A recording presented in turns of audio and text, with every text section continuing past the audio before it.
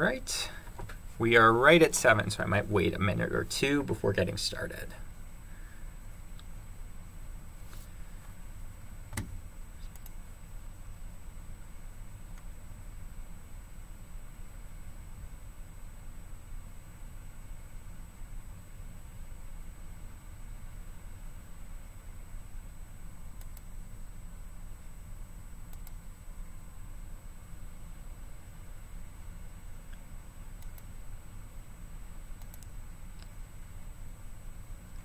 Okay.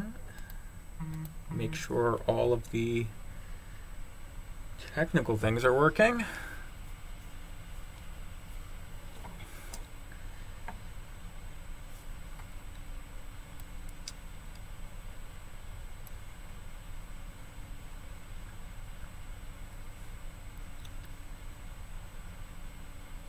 Okay. Looking good. All right. Um, so, hi everyone. Thanks for coming. Uh, my name is Luke. I am a second year graduate student at the at UCLA in the astronomy department. Uh, normally, I work on ground based techniques for characterizing exoplanets. Uh, but tonight, I want to talk about new exoplanet science that the James Webb Space Telescope, uh, which was launched this past Christmas, is going to enable uh, in the near future. Uh, first, though, this week we have an opportunity to see an early screening of the upcoming movie Moonfall. So I'm going to take a quick break and play the trailer for that.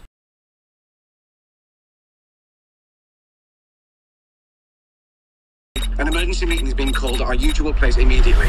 Free bagels. I've made a shocking discovery. I need you to get me in touch with NASA immediately. Well, NASA and I aren't really on speaking terms these days. Oh, that'll change. When you tell them that the moon is out of orbit. There's no need to panic. I'm not crazy! Why are they lying about all this? It's too late to stop. You knew all this was happening before NASA. You're the unidentified source? Oh, yes. We're dealing with an intelligent entity. We're planning a mission to attack this thing. I'm asking you for your help. Say yes, Brian. I need you to be brave. If the moon really is what you think it is, suit up. You have got a big gravity wave coming your way. You have to launch now. Did he say gravity wave? We're underwater, guys! Uh, that's crazy.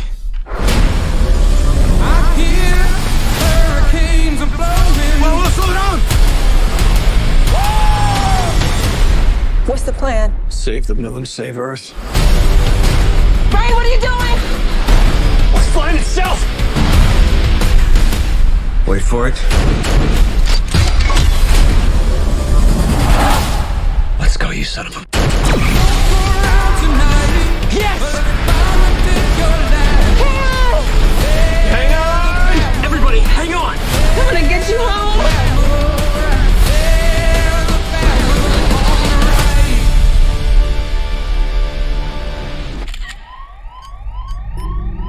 On airplane mode.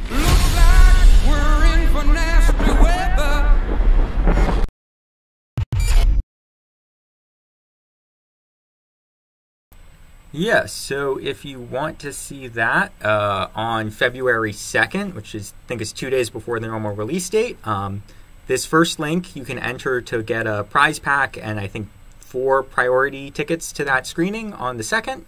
Um, you can also get general tickets for that early screening at this second link. Uh, I realize the URLs are kind of annoying, uh, so maybe if you want, uh, pause the video or go back uh, and you can uh, go to those links. Okay, so on Christmas morning, uh, myself, many astronomers, and six year olds around the world woke up way too early on Christmas morning. And for the astronomers, it was to watch this rocket launch. Uh, from the European spaceport in South America.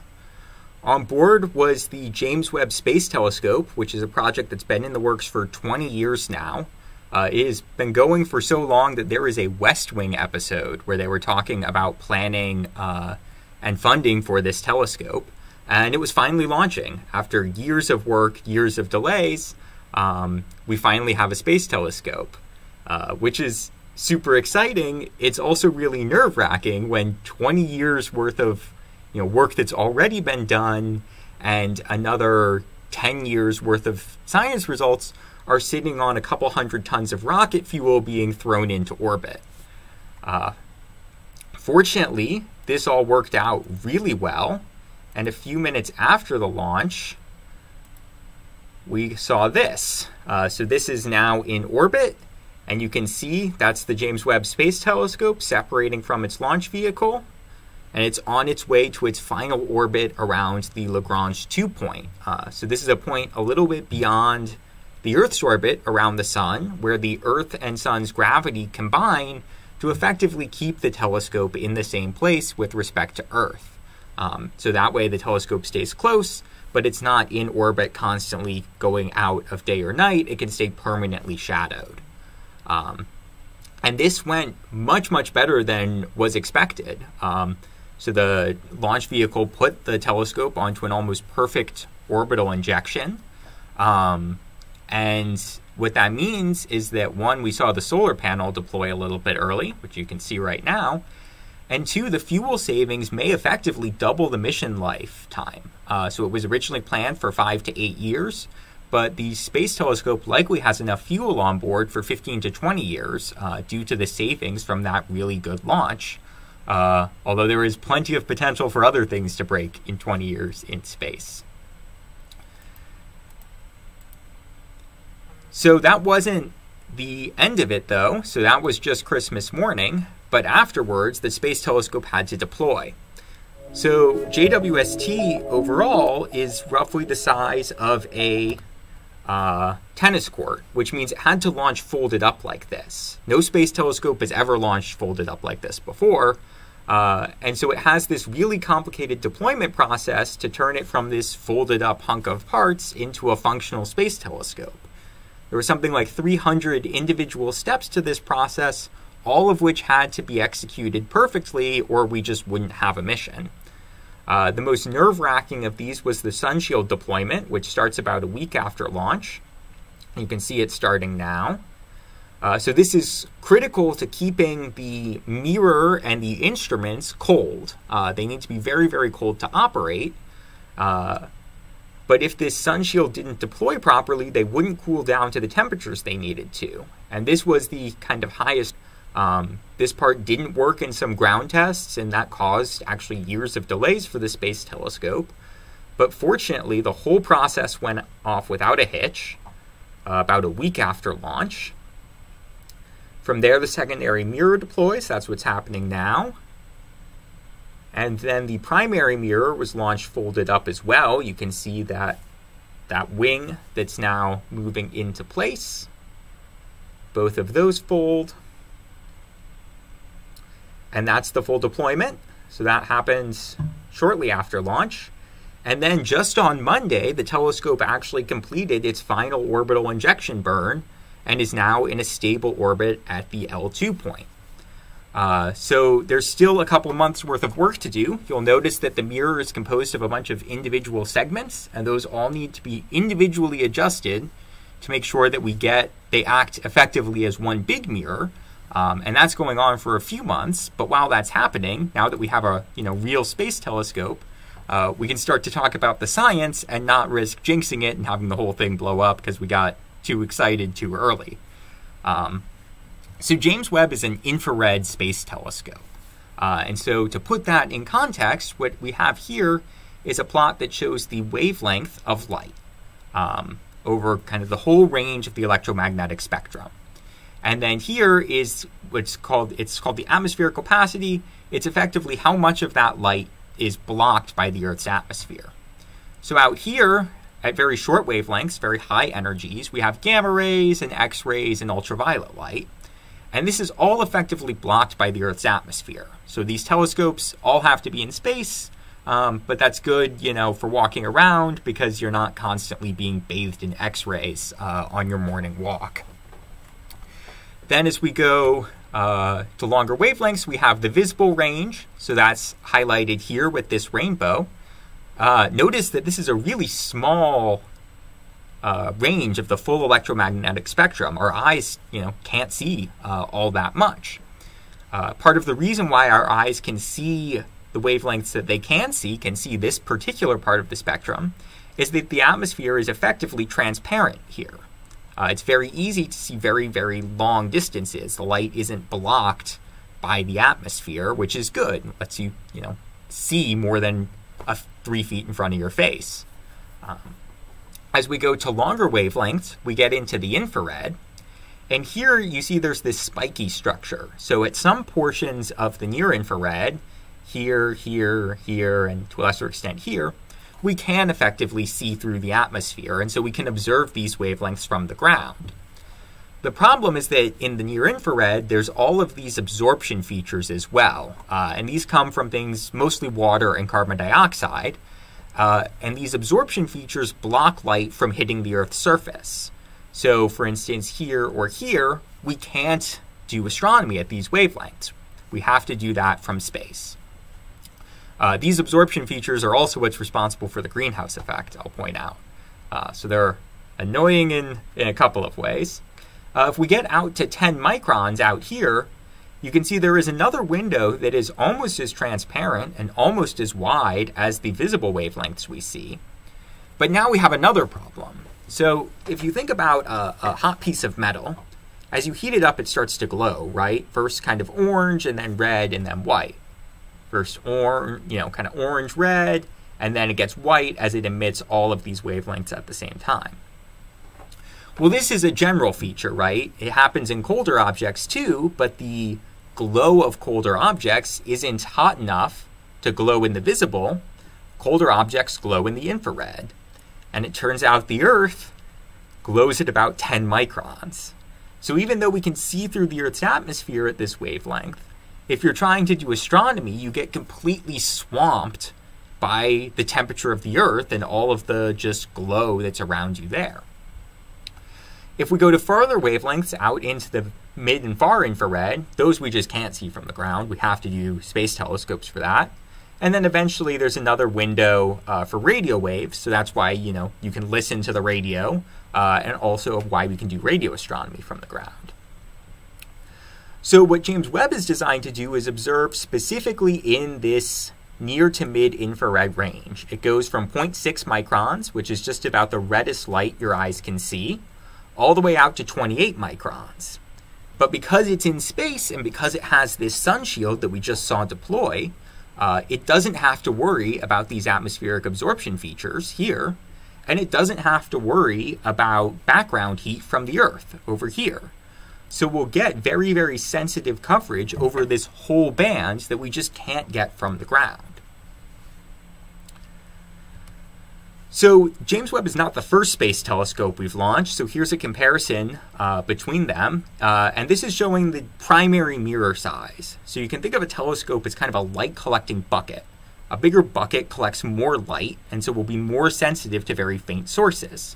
So we can think of the area of the primary mirror is kind of how sensitive the telescope will be. So here there is a person who's standing next to the Hubble primary mirror over here, and we can see that the Webb primary mirror is much, much larger than Hubble. What's more, so, so Webb is, is primarily an optical telescope. It offers some infrared coverage, but not very much. The last dedicated uh, infrared telescope that we launched was the Spitzer Space Telescope, and this is the Spitzer primary mirror. So what you can see is that the Spitzer primary mirror is actually smaller than any one of these 18 segments that make up the James Webb primary mirror. So the JWST will be massively more sensitive uh, to very faint sources than any previous infrared telescope. So what are we going to do with that? Well, everything, pretty much. Um, James Webb is going to touch almost all areas of astronomy even things like radio or gravitational waves or uh, high energy astronomy, where normally we don't really um, think about the infrared, but just by having this more complete picture that we'll get from JWST, it will kind of cross over and interact with those fields as well. So it's going to do kind of all astronomy, uh, but NASA's public pages break it down into kind of four categories. Uh, so the first of these is early universe. Having an infrared telescope with very large wavelength coverage is hopefully going to be really good at seeing the very first generation of stars and galaxies um, that formed, you know, just a few hundred million years after the Big Bang. Uh, we can also then look at more recent galaxies, galaxies closer to us, and by looking at kind of the full range from the very first galaxies to galaxies, you know, very close, kind of present day galaxies, we can get a broader and more complete understanding of how galaxies have formed and evolved over the whole lifetime of the universe. For stars, we can do a similar thing. Uh, so, stars form in very dense clouds of gas and dust that are very hard to see um, through at optical wavelengths. We get blocked by the dust and we can't see the stars as they form. Uh, but in the infrared, we can see through a lot of that dust, and so we can get a better understanding of how stars form and the environments where stars form. And then finally, and where I want to spend the rest of today talking about, is other worlds. Uh, using JWST to understand exoplanets, planets around other stars, uh, their atmospheres, their compositions, and their evolutions. Um, and I want to focus here because we could spend weeks uh, talking about these other things, but also I work on exoplanets, and so you know I'm probably not the best person to tell you about the early universe, but I can tell you about exoplanets. So JWST is going to work in a variety of ways uh, to to learn about exoplanets. So the first of these techniques is something called coronagraphy, uh, and this is something that we actually can do and have done uh, from ground-based facilities. So this GIF uh, you may have seen before, but it's an animation uh, made from observations uh, taken by the Keck telescope in Hawaii of the HR 8799 system. So this is a very young star, uh, and we can see that there are four planets orbiting around it. Uh, these planets are very, very far from their star. They're further out from their star than Neptune is from our own sun. Um, and so the reason that we can see them is that they're very young, which means they're very hot. They still have all of this heat left over from their formation.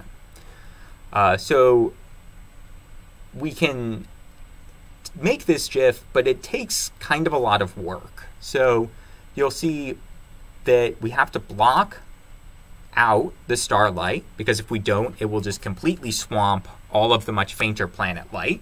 Uh, and prior to JWST, we haven't had any space based facilities that can do this. So JWST is the first time we'll be able to do this from space. There's also a limitation we have from the ground, and that's just the Earth's atmosphere. So this requires making these observations requires using a system called adaptive optics, which tries to measure and correct for the distortions that the Earth's atmosphere cause to incoming light. Uh, this isn't perfect, so you see there's this kind of varying pattern that's worse as you get closer to where uh, the star is. And this is called atmospheric speckling. And it's just because we can't perfectly correct for the Earth's atmosphere. So this isn't that much of a problem for the distant planets out here or out here, but you can see here it really limits our ability to make detections, and it can be difficult to tell whether something's a planet or a speckle. So because JWST is in space, don't have to worry about the atmosphere. This totally isn't something that you have to be worried about. Um, and so we'll hopefully get much more sensitivity doing this kind of technique uh, using a space telescope. We can also look at planets that are very close to their star, where we can't block out the starlight without blocking out the planet light, uh, through a technique called transit transmission spectroscopy. So the idea is that some planets, just by chance, will be lined up so that as the planet orbits around its star, it will cross in front of its star as we see it from Earth. Something like this. Uh, this is a, a, kind of rare chance alignment. Uh, about at least 90% of planets will not do this. Um, but for the cases where it does happen, we can get a lot of information from it. So the planet blocks light, right? Light can't make it through a planet, but starlight can make it through an atmosphere, um, or at least partially through an atmosphere, right? So you can see that in this kind of haze over here. Uh, so some light will get blocked, some light will make it through, and by looking at what light is blocked and what makes it through, we can tell something about a planet's atmosphere. So this is an example of doing that with the Hubble Space Telescope, uh, and this is for an exoplanet called HAT P26b, um, which, yeah, astronomers should not be allowed to name things, um, but here it is. So this is a, a roughly Neptune-sized planet, um, but it's very close to its star and very hot. So it's really not like anything we have in our own solar system, uh, which makes it you know really interesting to look at to try and understand. Um, so you can see here, this is a model fit, this red curve. And then these black points are the data points taken from Hubble observations, and then there's some uh, infrared observations out here. And what you'll notice, so we do see, right, where where there is absorption from water, the planet looks bigger because that light gets blocked. Uh, so we do see some evidence of water in this planet's atmosphere maybe see some evidence of clouds at shorter wavelengths, but this data is really noisy, and there's not that many data points, and they're all clustered over kind of one to two microns. Um, so this is really limited. We don't get that much kind of of an overall picture of what this planet's atmosphere looks like. So this is a simulation of what James Webb might be able to do. Uh, and this is a smaller planet, so it's a simulation of a rocky planet that simulates what uh, Earth might have looked like before there was life. Uh, and what you can see here, so first we have continuous coverage from 0.6 to 12 microns. So whereas before we got kind of half a micron's worth of coverage, now we get 12 and a half. It's a huge increase. Also, each of these gray lines is an individual point. And you can see in some cases they all kind of blend together because we get so many points. So we get much, much higher resolution over a much, much broader range when we use JWST. And that would let us see all of these individual features that correspond to different uh, molecules in the planet's atmosphere. It's also because it's so much larger, it's a much, much more sensitive telescope. Um, and so that will let us uh, see smaller planets, not just Neptune size, which was kind of pushing the limit uh, in the last slide, but now something, you know, Earth size potentially. And one of the highest priority targets for JWST will be the TRAPPIST 1 planets. Uh, so this is a system that we've discovered of seven small, potentially rocky, potentially um, kind of watery exoplanets uh, that all transit a very, very small, very, very dim star. And JWST, during its first year of observations, will look at this system. They're going to spend a lot of time on this system uh, in the hopes that we can see things like water and clouds and other molecules in the atmospheres of each of these planets, uh, which was not something we would ever have been able to do um, with previous space telescopes. And a few of these planets are in the range where they could plausibly have liquid water on their surface, although the compositions may or may not actually be, um, you know, similar to Earth in any kind of meaningful way. Uh, if we want a more 3D picture, we can also get that. So the transit, I'm going to go back a little bit. The transit tells us what it looks like on kind of the edges. So this is kind of dawn and this is kind of dusk but it only tells us about those kind of thin slices of the planet. We can get a 3D picture make, by making something called a phase curve. And this is, again, something that we've done previously. Um, so this is an example from 2007 that used Spitzer Space Telescope data, so the precursor to JWST. The idea, as I mentioned earlier, is that hot planets emit heat, or well, hot planets are emit light, um, and that light, because of typical temperatures of planets, comes out in the infrared. And so, if we look at how bright something is in the infrared, that can tell us something about how hot it is. This is how the, the laser thermometers work. We're laser thermometering a planet. Um, and so in this data set, uh, this is a transiting planet. So as the planet crosses in front of its star, it blocks a bunch of starlight. So we see a big dip in brightness. But then as the planet orbits, it goes through phases in the same way that the moon does or that Venus does. And as we see more and more of the bright day side, the hot day side of the planet, we see more light in the infrared until the planet drops behind its star, and then we see none of the planet's light in the infrared. So we can do this. Uh, this is from Spitzer, uh, and in 2007, this was used to make a map of the temperature of an exoplanet. Uh, so this is a hot Jupiter called HD 189733b. Terrible name. Um, so this is a, a, planet that's the size of Jupiter, and it's a gas giant like Jupiter. Um, but unlike Jupiter, which is very far from the sun, this is very close to this to its sun, uh, and so it's very very hot. Uh, what we expected was that the kind of hottest point of the planet would be the point that's directly underneath the uh, underneath the star because it always stays directly underneath the star and is always getting kind of full blast. Um, but instead, it shifted significantly. Um, and what this means is that there has to be winds happening on this planet to blow this hot material kind of around to the other around uh, to kind of 30 degrees longitude. So this tells us temperature, and we did all of this with Spitzer. Uh, now with JWST, we're going to get 50 times more collecting area, and we're going to be able to not just measure brightness, but to measure spectra. So the brightness gave us temperature, but there are other things that vary uh, as we see different parts of the planet. So this is an example of two simulations of the same planet. Uh, one is showing a cold part and one is showing a hot part. You can see that this you know general curve is much higher uh, for the warm point than it was for the cold point.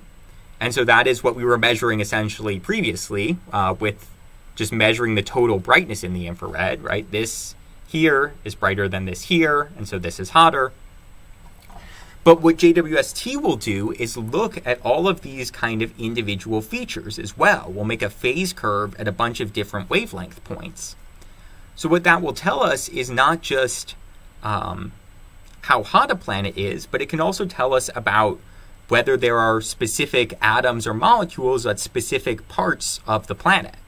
Um, and it can also do a similar thing for clouds, where clouds cause kind of broader um, Clouds change the shape, and molecules are these little individual spikes. And JWST will let us make these maps for the very first time. Uh, so how are we going to do this, and when is this going to be happening? Uh, we still have a few months to go. Uh, the instruments need to cool down to their final operating temperatures, and um, we still need to get all of the, the mirror segments aligned uh, very precisely. But when that's done, James Webb will start with what's called early release science. So this is a series of kind of really interesting and high priority um, targets that people want to look at and better understand, uh, with the goal being to one get some interesting results quickly, and two put out some data sets so that astronomers can learn how to actually analyze data from JWST. You know, what are the the quirks? What are the limits? Uh, is everything kind of how we expected, or is it better or worse? Um, all of that kind of learning and get that out of the way quickly. Once that's done, uh, JWST will start its or its general observing program. Uh, this is two categories. So first is guaranteed time observations. Uh, these are observations. This is telescope time that was promised to uh, groups that contributed instruments and hardware to JWST. Uh, you know, these teams spent 20 years building these instruments for the telescope. So this is meant to make sure that they get, you know, to actually use the thing they've spent a career building. Uh, and then general observing. Uh, and so this, anyone can submit a proposal. Uh, there are calls for proposal once a year. Uh, and these proposals are then reviewed by a committee of astronomers called the Time Allocation Committee. And they rank the proposals and decide uh, who should get time. Uh, so cycle one was already selected, and that's what's going to happen in the first year of science observations. Uh, cycle one was actually a little bit less competitive than was expected. Uh, probably because a lot of people were very worried the telescope would blow up and didn't want to spend a bunch of time writing a proposal if the telescope was going to go, you know, blow up and they were going to waste all of that effort. Now that we have a real uh, space telescope, uh, I expect that it's going to be much, much more competitive for Cycle 2. Uh, so, if you want to read more details about all of these early science programs, all of these science programs, uh, there are links on the Space Telescope Science Institute website, which I've put up here. Uh, so for ERS, there are two ex- exoplanet programs. Uh, the first is to just look at three hot Jupiters, uh, like the one I showed the temperature map of, uh, and just understand, you know, how much more can we get with the increased sensitivity in the new instruments of JWST. So looking at both transits and phase curves there. And then the second is to do kind of a similar thing, but testing out um, the coronagraph and see, you know, what are the limitations of uh, our ability to image exoplanets with JWST. In the guaranteed time category, uh, there's a total of 25 different exoplanet programs, so there's going to be a lot of work done here. I'll just highlight two of these programs. Uh, so, first is a search for additional planets around HR 8799. Uh, that was the GIF I showed early in this talk where we see four planets. But notice, remember all of that speckling, we couldn't see much closer in, so now we're going to go back and look with JWST and see if we can look and see more planets in that region where we just couldn't see anything because of the Earth's atmosphere. Uh, then there's another program to do transmission spectroscopy of a planet called WASP 107b.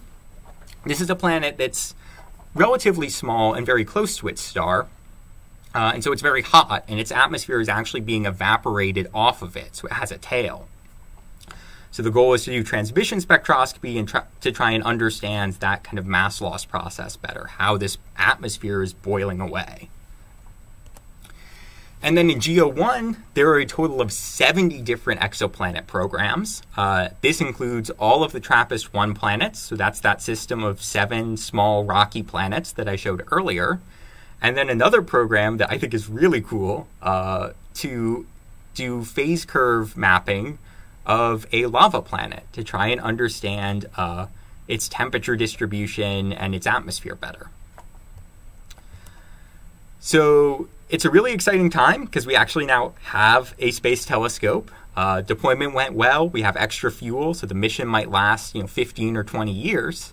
Um, and I think what's really exciting is that every time we've gained a new observing capability, like Hubble or Keck or now JWST, we've found a bunch of weird stuff we didn't expect to find.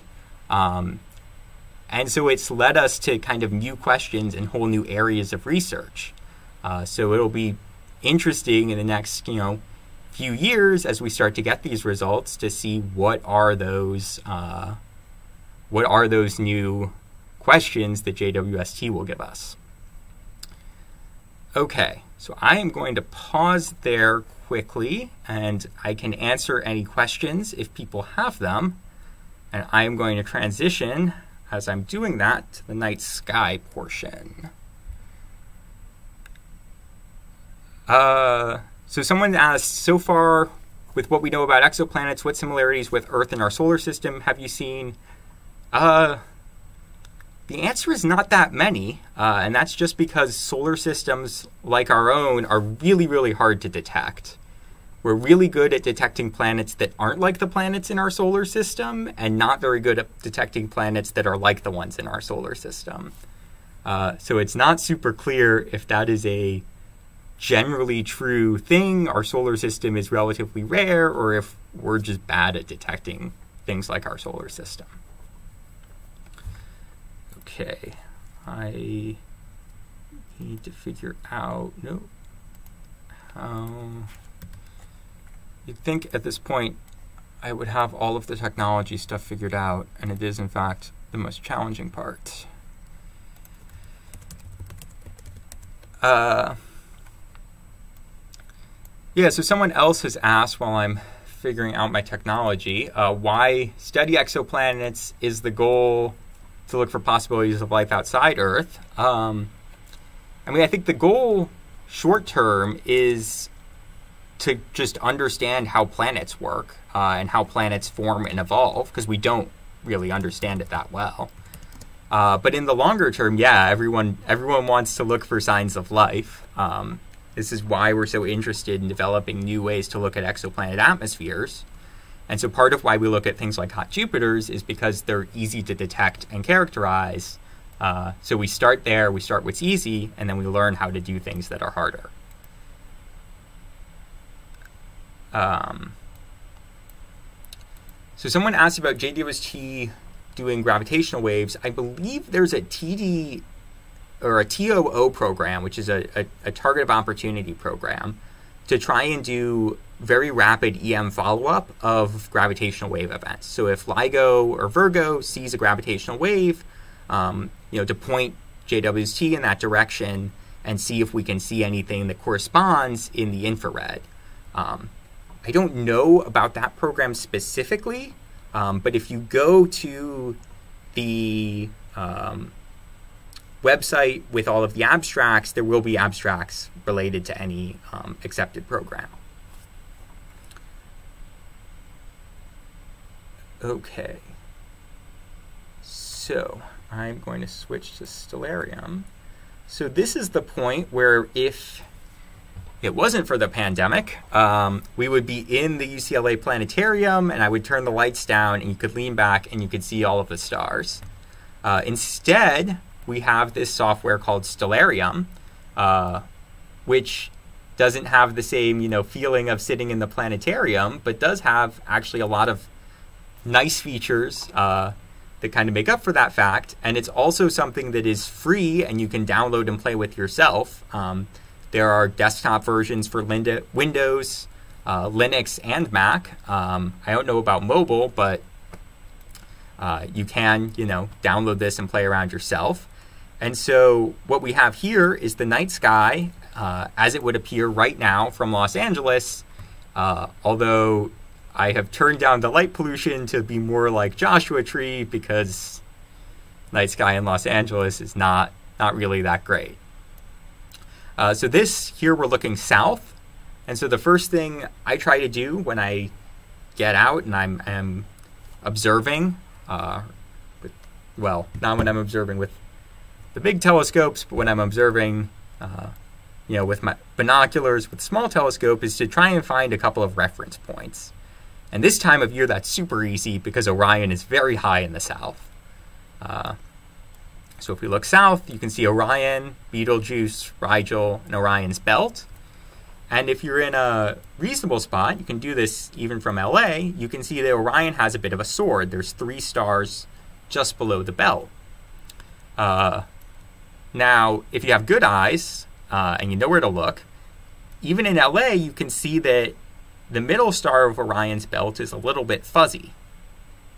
If you're in a darker spot, it's much easier to see. And if you have binoculars or a small telescope and you zoom in, you'll actually see that the middle star of Orion's sword is a bunch of stars surrounded by this kind of wispy shell. And this is uh, what's called an HII region. So the stars in the center here are very young, very massive, and very hot stars that have just formed and are now blowing away all of the gas and dust that they originally formed from. So you see this kind of shell. Uh, you don't really get colors when you're looking at it with a small telescope or binoculars, but you can totally see four stars in the center here and then this shell of material around them. Uh, there's other things in Orion as well. There's a bunch of other nebulas. So if we go up towards uh, Orion's belt, just below Orion's belt, we have the Horsehead Nebula, um, which you can't see without a pretty good telescope, um, but it's in a lot of kind of famous space photographs. And there's a couple other nebulas here. So this one I think is called the Casper the Friendly Ghost Nebula. Um, again, do not let astronomers name things. We're, we're bad at it. Um, but what's cool is that all of these kind of nebulae are not just um, close together on our sky, they're actually close together in space. They form this larger Orion star forming complex that we think is one of our galaxy's largest star factories. So those are very young stars. Those are stars kind of still in the process of forming. But if we look above Orion, and now we're looking almost straight overhead, we can see some stars that are a little bit further along. So if we look above Orion, kind of go follow the belt up, there's this V of stars here. And this is uh, this is in the constellation Taurus. You can think of this as kind of the head of the bull. And this is a, a moving group called the Hyades. Um, you can see it's kind of a there's more stars here than in other parts of the sky. Um, and this is actually a, what's called a moving group. So these are young stars that have they all formed together, and they're now slowly in the process of spreading out um, into the wider galaxy. Because they're very close, they don't appear all of that all that clustered on our own sky. They're only I think 150 light years away. Um, so they spread out in our own sky, but actually, kind of on galaxy scales, they're all really close together. Uh, we can see an intermediate stage of star formation if we go a little bit higher up, and this is now pretty much exactly overhead right now, uh, and you can see the Pleiades. So this is a cluster, another cluster, it's called an open cluster, um, of newly formed stars. They're a little bit further along than Orion. Uh, with the naked eye, you can see six, or in very good condition, seven.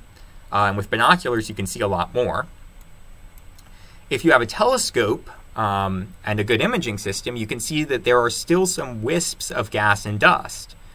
So this is further along than Orion is, right? Most of the gas has now been cleared out, um, but not as far along as the Hyades, in that there's still some kind of gas and dust around in the same general area.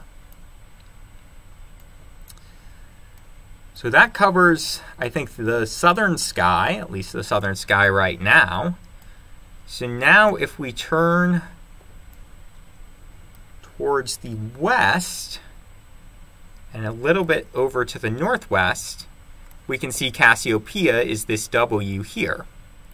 Uh, and so this is my personal strategy is when I'm trying to, to find things, I try and find two things I know. Uh, so in this case, Orion and Cassiopeia, hopefully on the opposite side of the sky so that if I'm looking on one side of the sky, I can reference everything to Orion. If I'm looking on the other side of the sky, now I can reference everything's position to Cassiopeia.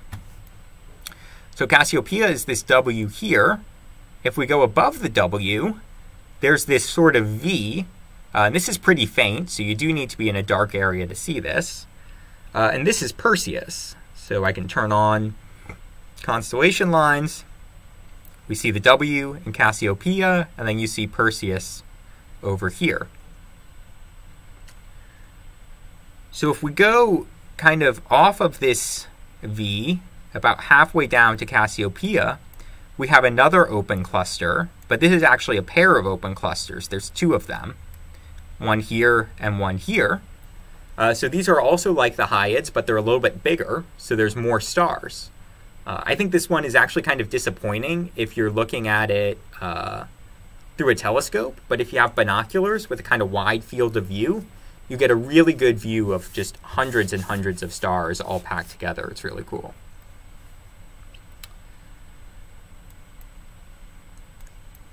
Okay, so while we're over here in this kind of northwest part of the sky, I'll turn this on for a second.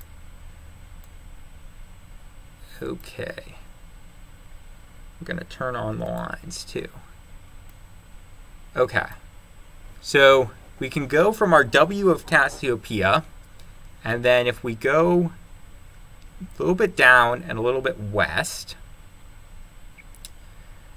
we have the square of Pegasus, which is over here. And then if we go up so we go kind of, there's the W, and this part of the W is pointing in this direction, uh, kind of, uh, well, I guess pointing south. There's this big fuzzy patch right here. And you can see just right away that it's actually really big on the sky. Uh, it's larger than the full moon. If we have binoculars uh, or a telescope, you can start to see that it's a disk shape. Uh, this is the Andromeda Galaxy. It's the closest large galaxy to the Milky Way. It's about two and a half million light years away.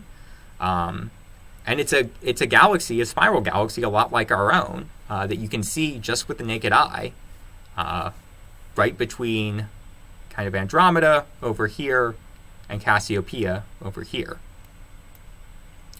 There are a couple of other galaxies that you can see further away, um, although you need a telescope. So I'm going to stop cheating and turn to the north. Okay, so this time of night, we have Cassiopeia up here, and the Big Dipper is just rising down here. You can just see the ladle of the Big Dipper rising. You can follow the end of the ladle over to the North Star here, or you can go down from the M of Cassiopeia, uh, which might be a little bit easier with how low uh, the Big Dipper is right now. And so this is right now, so I'm going to speed up time a little bit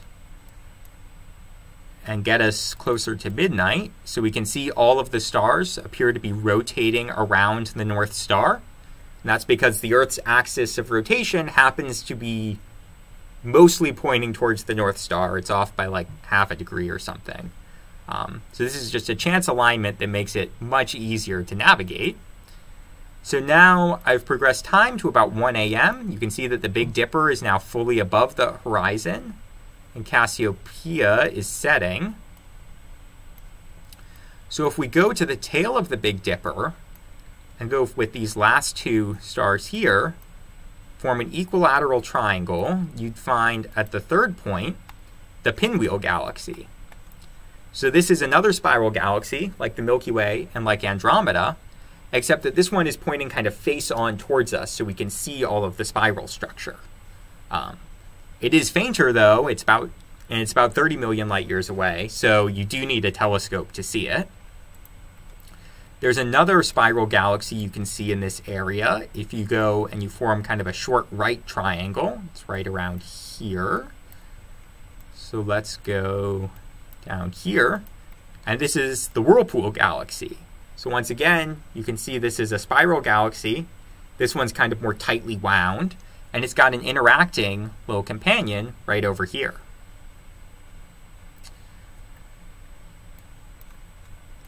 Okay, so that's kind of the north. Then lastly, we can turn east. I don't think east is all of all that interesting right now, this time of year. Um, but we can speed up time a little bit more and look in the morning sky where we've got a little bit more going on. Oops, I overshot. Okay.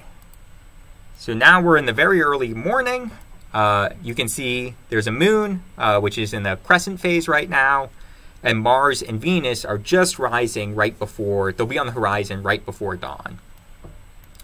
Uh, I think one of the kind of neat things to think about is that right now, so this here is Scorpius. Uh, let me turn on constellation lines. And so the moon is in Scorpius, uh, which is a summer constellation. So right now, summer constellations are just rising right before dawn, uh, but they will be rising four minutes earlier every day of the year.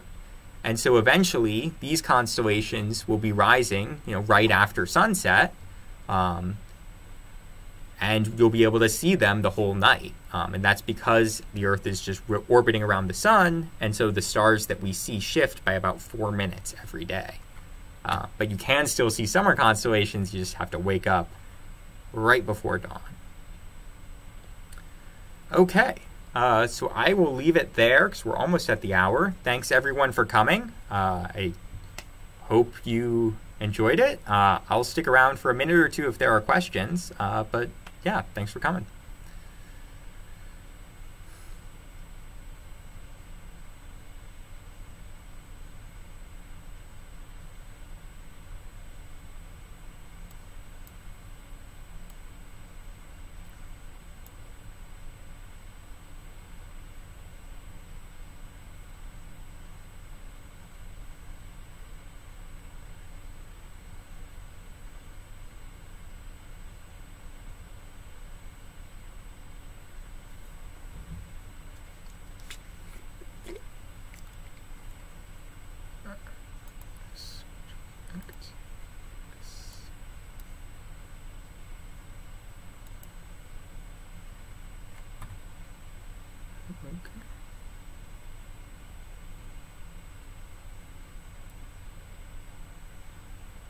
Looks like that's it. So I'm going to end the stream. Have a good night.